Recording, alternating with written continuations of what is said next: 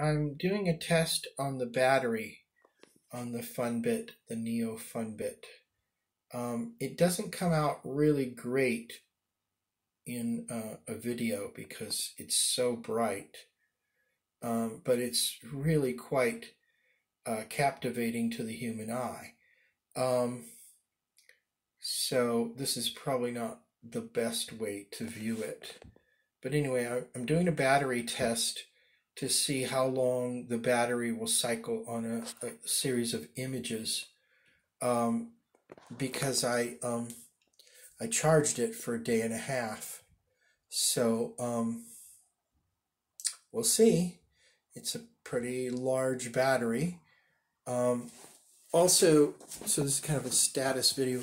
Also now get a lot closer. Um, you can see the the case um, that uh, I have made, which is uh, a prototype, so it's not perfect, and there's a lot of uh, things that don't look right in it right now, like the battery and the green casing around it on the back, and the large size of the hole and stuff like that. But but this is a nylon printed case, okay, and uh, it takes quite a long time to print. And I just started another one with the 3D printer here uh, my bed is not the most perfect level, but it does come out pretty nice once you once you put that's that's the lid being printed, and there's another one like a 10 hour print for the base, but I may change that to PLA because it's warping a little bit. So the PLA won't warp as much, and the nylon front will be perfect on top of the PLA. So I think that's going to work. And then I've also got some switches and some different electronics ordered um, to try out a couple of different things.